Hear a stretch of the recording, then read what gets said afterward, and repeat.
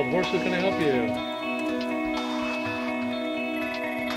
Hi, my name's Shawn Simpson. I've been with Wild Horses about two years and a few months now. I've been into four-wheeling for quite some time. I owned my first Bronco, was around 92, 93, had a Jeep before that. Been working on my own vehicles and everything else for this whole time.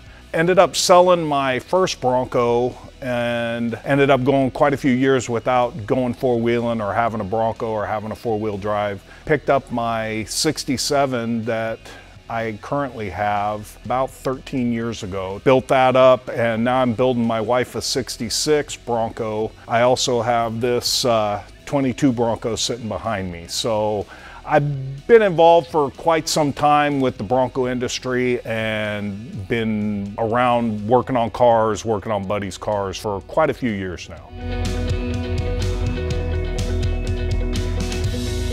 The Bronco to me, it means a whole lot of my youth. When I was growing up, I had about six or eight buddies. We all had Broncos, a couple had other four-wheel drives. And it meant to me getting out, going up into the, the back country, going up on Rubicon. We, I grew up in Sacramento, so spent a lot of time up there playing around, camping, just really enjoying my youthful days. And uh, now a few of us have Broncos. We go up, we still enjoy just spending time together and as a family now and with my friends and bringing all the families together. So that's what it kind of means to me. It's a way for me to skate every day and get up into the woods.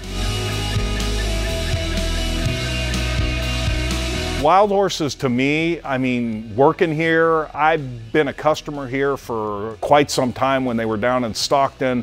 I remember I went in, this is what sold me on the Wild Horses brand is actually there's a couple things. Um, I went in there to buy a lift kit for my 67 when I was first building it. And my son was just a little guy. We went in and I forget who helped me behind the counter, but Jim walked out and Jim helped me carry the leaf springs out to my car and then called my son back in and gave him a Wild Horse t-shirt and sent him back out to the car. So to me, that was that the owner is actually helping me carry my parts out to the car Later on, I had a little problems with one of the parts and I brought it back and no questions asked, hands down, took it back, full refund. The customer service here is what sold me. So I, I personally, I don't care if I can find the part a little cheaper somewhere else. I come to Wild Horses because they've always taken care of me and they will always take care of me.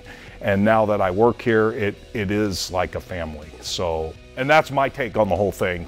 That's where I stand as far as a company and as far as a family that I now belong to.